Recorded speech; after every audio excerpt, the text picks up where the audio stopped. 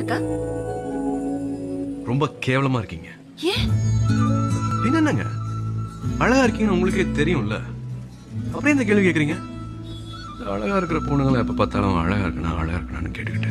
கண்ணாடி தான் பாத்தீங்கல்ல. ஆமா எதுக்கு இந்த கேள்வி கேக்குறீங்க? ஜஸ்ட் கேஷுவலா ஜெனரலா ஒரு ஜெனரல் நாலேஜ்க்காக